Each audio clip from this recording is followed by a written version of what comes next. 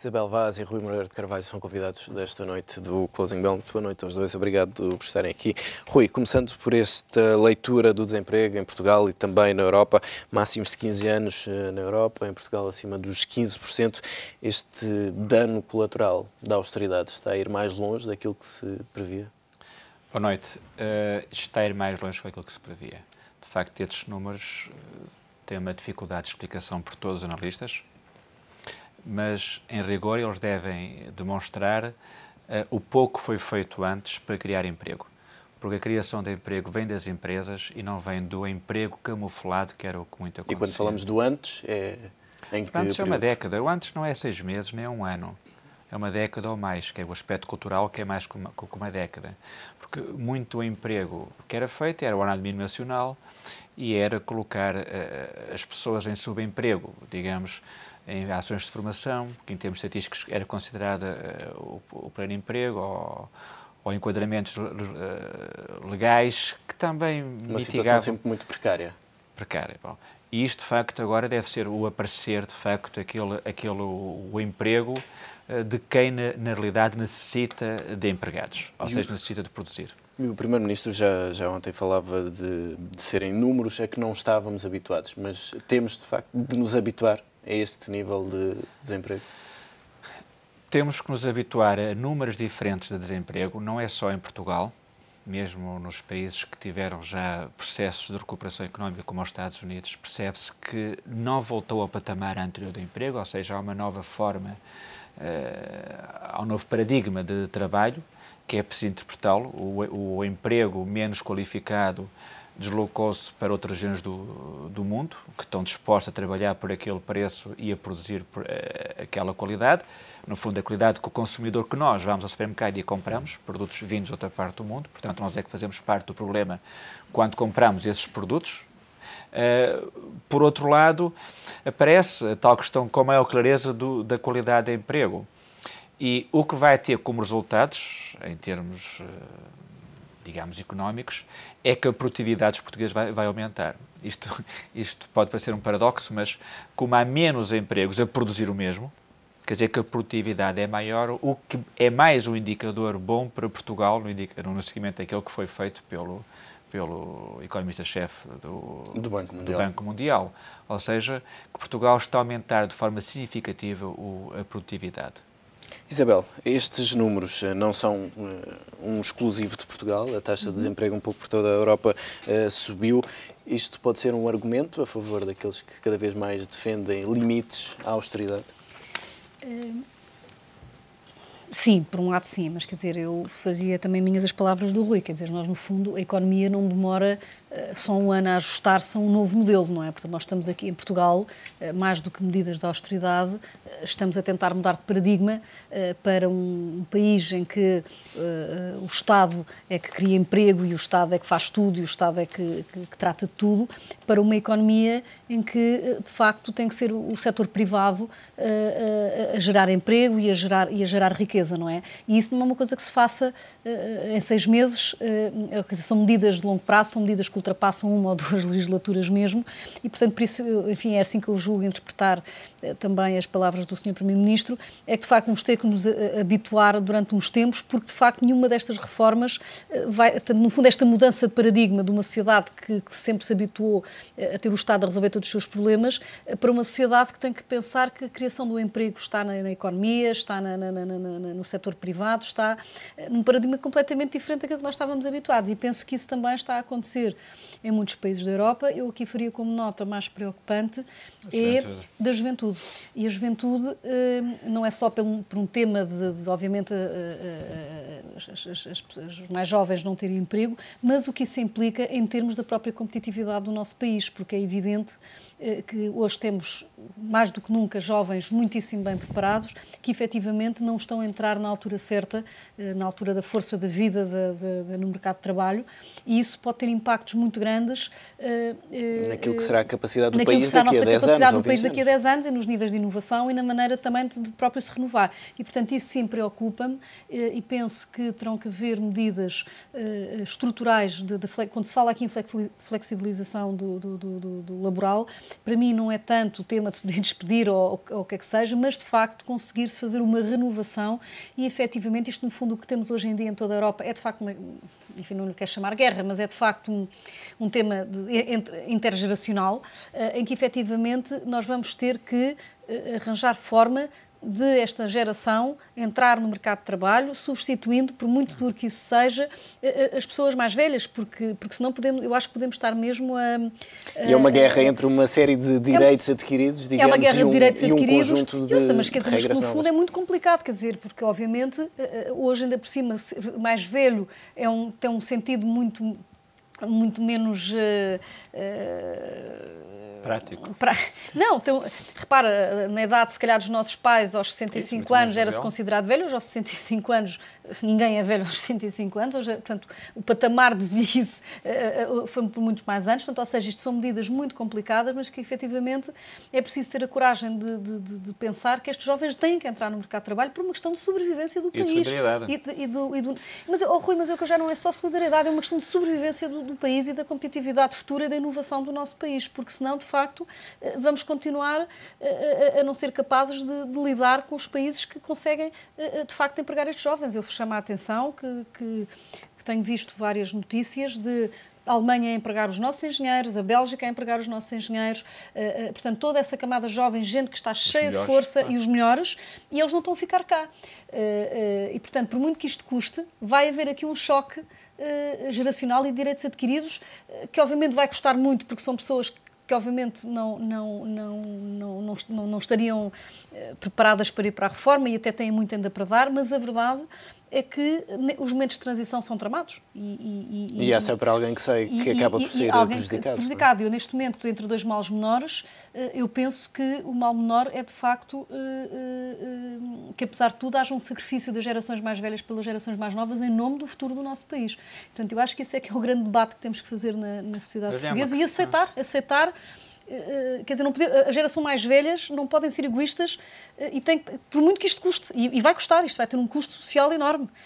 Agora, mas reparem também que se esta camada mais jovem não entra no mercado de trabalho, também não vai haver dinheiro para pagar as pensões das pessoas mais velhas. Ah. E, portanto, isto tem mas, que ao mesmo aqui... tempo, estamos a aumentar a idade da reforma, estamos a, prolongar Exatamente. também a permanência isto, dessas pessoas. Isto é uma equação muito difícil, acho que é um modelo social que, tem, que, está, que, está, que está em causa uh, uh, uh, e que merece uma reflexão profundíssima do que é que, do que, é que, que, é que temos pela frente. E, portanto, acho que este tema do desemprego, obviamente que, que, que, com os países em recessão e com a Europa à procura, não é só Portugal, mas à procura de uma nova forma de estar na globalização e na, e na, e no, e na globalização de, de, de, toda a economia, portanto, que está a competir com a China, que está a competir com a Índia, que está a competir com os Estados Unidos, que está a competir uh, com, com, com, a Rússia, com que está a competir sociais, e com não? outros modelos sociais, uh, uh, como é que de facto nós vamos conseguir manter o fantástico modelo social que temos em cima da mesa e manter os níveis de inovação que tivemos no passado. Porque este, esta rapaziada está toda a mudar para lá. Eh, eh, e, portanto, nós vamos perder aos dois níveis. Portanto, o tema do desemprego, para mim, tem que ser visto também eh, de, de, deste ponto de vista. Mesmo que isso implique, e eu, enfim, eu estou a ir para a velha, não estou a ir para a nova, mesmo que isso implique, de facto, nós temos que sair de ser nós mais velhos, para que, de facto, dar oportunidade a esta. É uma geração esta, mais nova. Mas, mas permitam-me que não é, eu, eu penso que pode somar, é que não é um jogo de soma nula, ou seja, não tem um sair para entrar o outro. Ambos podem caminhar e podem caminhar em conjunto para uma solução. O que está em causa, de facto, é a produtividade. O que está em causa é Portugal ser mais competitivo, ou seja, Portugal fazer melhor. E aí as competências e o saber adquirido com a idade, eu também acabei de fazer 50 anos, portanto, pode ajudar, pode ajudar os jovens que estão, que estão a entrar no mercado de trabalho. E os números são de facto terríveis. Em Espanha, os números são 50% dos jovens com, com, menos de 25 anos que estão desempregados. Em Portugal já são 36%. Já está acima dos 35%. Mas nós não podemos dizer que são todos, porque a Áustria tem 4% e a Holanda tem 5% e a média europeia é 10%. Portanto, estes números têm muita coisa que se lhe diga. Também pode aparecer muita coisa que é ligada ao mercado informal as pessoas, devido às, de, aos chamados impostos, vamos aumentar os impostos para aumentar a receita no curto prazo, o que faz é que vale a pena uh, transgredir, vale a pena sair do mercado e começar a trabalhar ao pescate. Portanto, como diz bem, é uma reflexão a fazer, mas é uma reflexão também mais inteligente da nossa geração, Isabel, que é podemos caminhar juntos para produzir níveis de crescimento económico que são esses que vão pagar as nossas reformas, que são esses que vão permitir que os jovens cá fiquem. Porque senão o que nós ficamos, de facto, é com pequena capacidade de os manter e pequeníssima de atrair novos, porque os que nós mantemos também não são suficientes a taxa de natalidade em Portugal é 1,3, portanto, não substitui os que estão a. E, e a Isabel já, já, já tinha levantado essa questão precisamente da, da segurança social e neste último documento de estratégia orçamental o Governo já identifica como um dos riscos precisamente um, um, aumento do desemprego e um aumento das despesas e a continuação sociais. da baixa de natalidade, este... porque as pessoas não, não têm condições, portanto, a juventude, as pessoas que estão agora na força da vida, entre os 25 e os 35 anos, nem sequer têm condições para. para, para As condições para também. Filhos, têm desde logo um emprego, não é? Depois, desde logo não têm emprego e, portanto, ou seja, tudo isto depois está ligado não e depois é um, emprego, é, um, é um ciclo desvirtuoso, não é? Agora, mas aí é que eu acho que tem que atuar a flexibilização laboral, porque é muito diferente. As empresas, repare, está tudo atrapalhado, estamos num momento de transição e, portanto, não se pode pedir às empresas que, que, que, tenham, que assumam riscos, eh, quer dizer, numa altura de uma incerteza claro. destas, mas agora é muito diferente se realmente o, a, legislação laboral eh, permitir-nos um maior nível de risco, eh, tudo isto melhora. E, portanto, ou seja, é preciso ver isto com, com outra. Acho que os sindicatos têm um papel importantíssimo a desempenhar aqui e têm que ver isto antecipando o futuro e vendo isto de uma forma moderna uh, e, sem, e sem preconceitos do passado, porque não estamos em altura de, de, de, de, de facto... O melhor indicador para dizer que temos que mudar o modelo, no fundo é o que está a Isabel a dizer, é, é, são, esses, são esses números. Esses números su, su, sugerem que o modelo está errado, que é preciso fazer diferente. Como?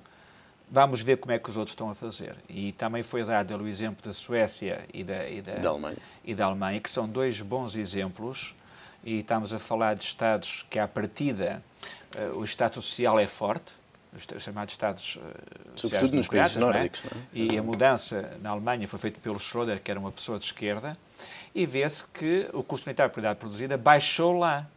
O que é que baixou? Começaram a produzir mais. E produzir mais vem de todos, vem desde o gestor, que é a parte interessada em também ser mais responsável por aquilo que está, que está a coordenar, pelo empresário, também o empresário trabalhar mais com capitais próprios e menos com subsídios de Estado, que no fundo as contas todas acabam aqui por, por, por camuflar, ao fim e ao cabo socializavam os problemas, o lucro era meu, era comprar um carro ou uma viagem, mas depois, quando havia problemas, o Estado que me ajude a subsidiar. E, e todo este novo, novo paradigma eh, vai levar, a, a, de facto, a, a uma nova competitividade. Mas como bem este, este documento de estratégia orçamental su, su, su, sugere, os indicadores para, para daqui a três ou quatro anos são simpáticos. Ou seja, o que está a ser feito, se Mas for não, não, há um, não há algum otimismo nesses, nesses indicadores, Rui? Mesmo comparando com aquilo que, que a Troika prevê para os próximos 3, 4 anos. Repare, oh, oh, Ruben, se o otimismo é em 2016 crescer 2,8% do PIB, e saber que o custo hoje do serviço da dívida é 5%, repare que não temos salvação, não é? Ou seja, eu estou a ter um custo de 5%, que é mais de 100% do PIB, já agora, já, já vai em 112, não é? E, e, e tem crescimento 2,8. Ou seja, eu vou necessitar de, muita, de muito esforço e de muita compreensão por quem me emprestou dinheiro. Que eu acho que irá, que irá tê-la e está a tê-la. Está a ter. Mas o que é relevante é, nomeadamente, a nível uh, do comércio externo. Ou seja, pela primeira vez é sugerido que nós, para o ano, as contas ficam equilibradas, uh, com 0,4% de déficit, e em 2016, pela primeira vez que haja memória, vamos ter superávit comercial de 5%. Ou seja, o que estamos a produzir, o que estamos a vender, é mais que o que estamos a comprar. Enfim, isto são indicadores notáveis. E são indicadores, alguns deles, que já vêm no fim deste ano e para o ano. Portanto, haver um desvio por exemplo, o Governo sugere neste documento de orçamental que a recessão este ano vai ser 3%, 3%. quando há três semanas dizia que era 3,3%. Não ganhava nada em dizer que vai ser melhor. Ou seja, pode aparecer alguns, algumas pistas de que isto é verdade. E isto a ser verdade não quer dizer que as pessoas percebam isto e vão interiorizar isto em termos de futuras eleições. Eu, eu tive a semana passada quatro turmas com testes e tive estes quatro dias a corrigir quase 140 testes. E uma delas era, eh, a pergunta que coloquei era como é que você compara aquela frase do, do presidente do Banco Central Europeu, do Mário Draghi? Não, o Mário Draghi, correto, que era temos substituir austeridade pelo, pelo, pelo crescimento. E, e as pessoas não, não entendem a necessidade da austeridade. Continuo a dizer que a austeridade é uma morte ao crescimento económico, porque confunde o conceito de crescimento com o conceito de desenvolvimento. E agora vou parar que senão monopolizo. Eu, eu pego nessa deixa, até porque na semana passada falou-se muito, precisamente, e tem-se falado muito na Europa desta questão da austeridade e do crescimento e, sobretudo, daquilo que, que pode ser feito a nível central para, para estimular o crescimento. Na Europa é preciso que haja, de facto, um plano central, um, um plano único, um novo plano é Marshall é para lançar a economia. Eu acho que, sobretudo, é preciso mais Europa. Não? É? Temos vindo a falar uh, muito sobre isso, não é? Se realmente queremos ser Europa. Claro. Portanto, enfim, as discussões que temos tido temos tido aqui. Mas sabes que eu tenho umas teorias diferentes. Enfim, eu acho que muitas das medidas que estão no documento da Troika e que, que, nós estamos a fazer em Portugal não são austeridade. São claro. coisas que nós devíamos fazer no desperdício. A austeridade é quando nós eh, estamos a, a, a, a ir, além daquilo, ir além que, daquilo que é. Que agora, há muita coisa aqui que estamos a falar de desperdício. Claro. Portanto, aquilo que podemos criticar é se eu se fosse oposição, o que eu conto muito estaria em cima da jogada não é se estamos a tomar estas medidas para retirar rendas excessivas, etc. O que eu estaria a ver era justamente como é que é o andamento das reformas estruturais que temos que fazer. Agora, quando eu digo que os hospitais têm que ser mais eficientes, quando eu digo que, que, que não pode haver rendas excessivas uh, uh, em alguns setores da nossa economia, quando eu digo que não podemos estar a ter emprego que na realidade não é verdade que, que, que, as pessoas deviam estar, e nós temos esse problema, nós sabemos que a opção deste governo, por exemplo, relativamente aos subsídios de Natal e de férias, era justamente isso. Ou diminuíam 150 mil empregados públicos, ou, ou então cortavam, cortavam a todos para justamente não agravar ainda mais as estatísticas do desemprego. Portanto, uh, uh, uh, isto não é austeridade.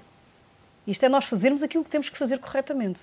Outra coisa é quando a austeridade já é quando a distribuição destes sacrifícios não é feita de forma correta e então aí estamos a ir, eh, de facto, a fazer cortes onde já não devemos fazer porque não fazemos as reformas estruturais que temos que fazer. E é isso que este Governo tem que estar atento. Obviamente, passou um ano, obviamente já foi muita coisa feita, mas o resto da legislatura tem que ser muito clara no sentido que uh, as reformas estruturais e as verdadeiras poupanças uh, têm que ser feitas. Mas é certo também que as pessoas têm que compreender que muitas dessas reformas passam por criar desemprego, porque uma das reformas... Na primeira etapa. Na primeira etapa.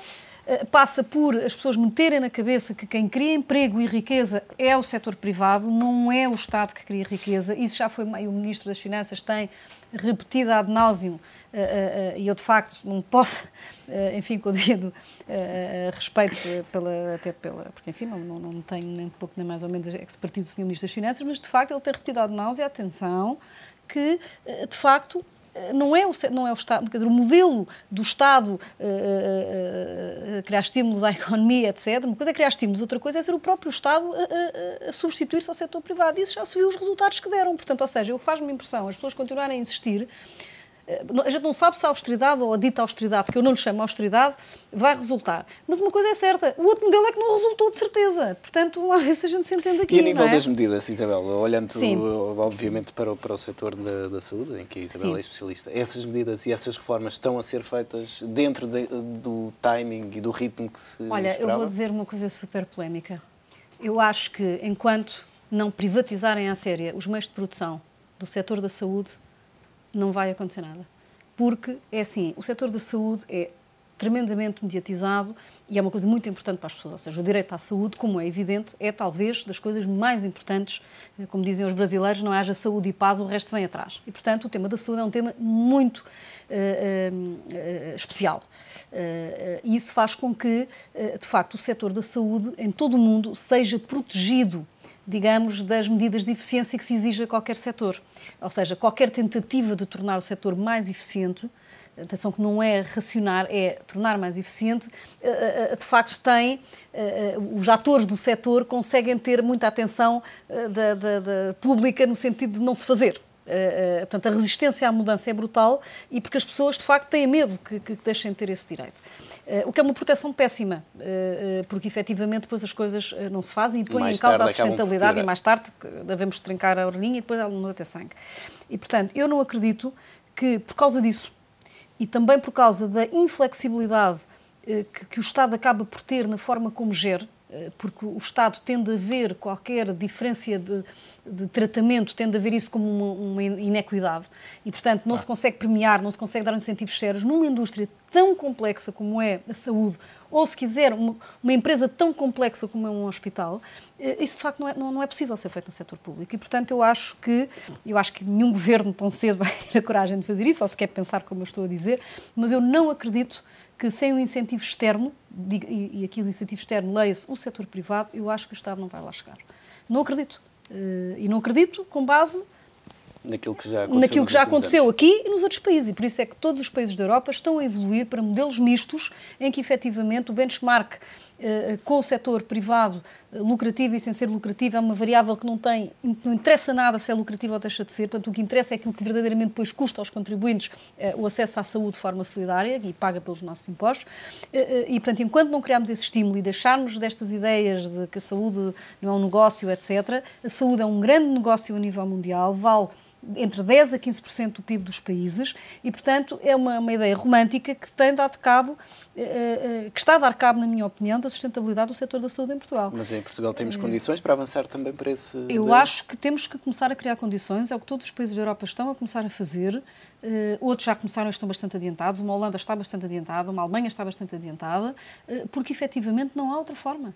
E, e, e, portanto, eu não acredito, uh, quer dizer, porque a pressão é muito grande, ou seja, mesmo que se diga, repare, neste momento quem é que é o impopular? Não é o Ministro da Saúde por tentar, por tentar que o setor seja mais eficiente. Portanto, o que os hospitais reclamam, e os, não é só os hospitais, os centros de saúde, enfim, todo o setor, parece mentira e que estão, logo o argumento é que estamos Esmagados. a dar cabo da qualidade e estamos a cortar o acesso das pessoas e não é nada disso que estamos a falar. O que o Ministro está a impor é giram como deve ser, giram os orçamentos que têm, não se endivida. E, portanto, o mal da fita é sempre quem. E já tivemos ministros que caíram uh, por causa disto, não é? E temos vários exemplos da resistência à mudança deste setor. Uh, uh, muito grandes, não é? Ouça, não se consegue fechar material de Alfredo da Costa. Quer dizer, que é uma coisa que se mete pelos olhos dentro de qualquer pessoa que minimamente faça uma análise minimamente técnica, que é evidente que tem que fechar.